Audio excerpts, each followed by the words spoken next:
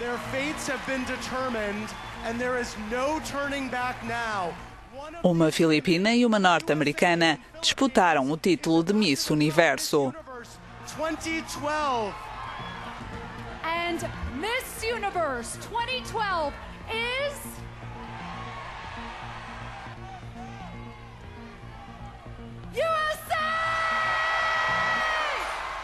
Olivia Colpole, de 20 anos, foi eleita por um júri composto por 10 personalidades.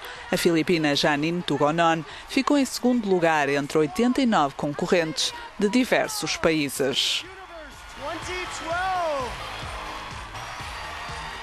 O concurso decorreu em Las Vegas.